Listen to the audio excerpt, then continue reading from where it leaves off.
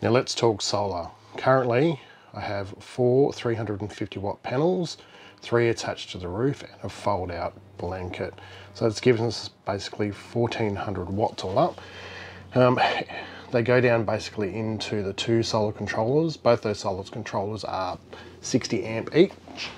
Um, I got them for about 130 bucks, 40 bucks each. And then it goes basically down into the 200 amp hour battery, which has been plenty so far. Was planning to get basically two batteries, but it seems fine so far, but for what I'm using it for.